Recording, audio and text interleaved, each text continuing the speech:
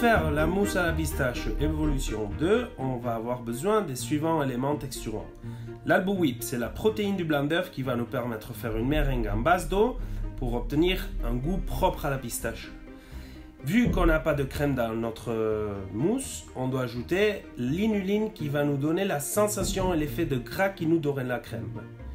A continuation, on va travailler le nature émule pour avoir une belle émulsion stabilisée entre les molécules d'eau et les molécules de gras de notre mousse.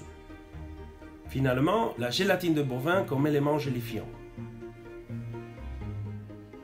On va verser dans une carafe l'eau, la protéine de blanc d'œuf, l'albo whip et on va mixer pendant une minute. On verse le tout dans le bol de KitchenAid et on va commencer à monter.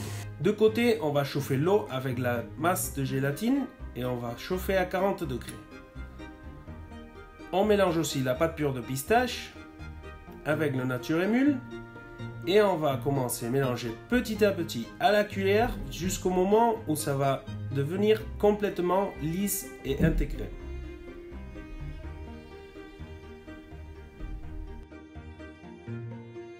On verse cette élaboration dans l'eau avec la gélatine et on fait une belle émulsion pendant une minute et demie. On verse cette émulsion dans un bol et on finit la meringue en ajoutant le sucre et l'inuline. On monte deux minutes de plus jusqu'à qu'on va voir que les sucres et l'inuline deviennent complètement fondus.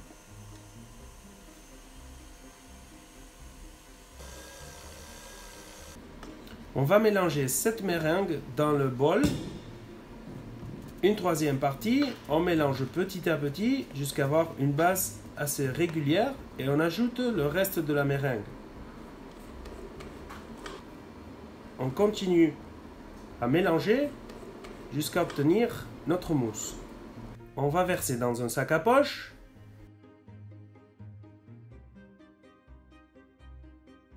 Et la mousse est prête pour remplir notre moule.